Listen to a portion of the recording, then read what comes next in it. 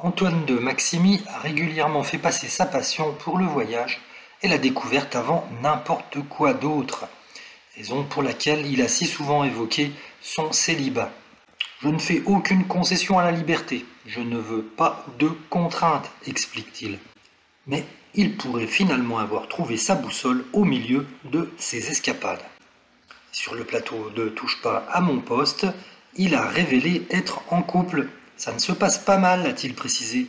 Ça ne m'est pas arrivé souvent car je suis trop indépendant, mais là, ça marche.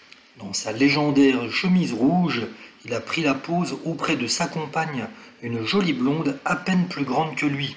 Le couple rayonnant a multiplié les sourires face à l'objectif. Et allez voir aussi bien ensemble, la prochaine apparition publique en amoureux pourrait arriver plus vite que prévu.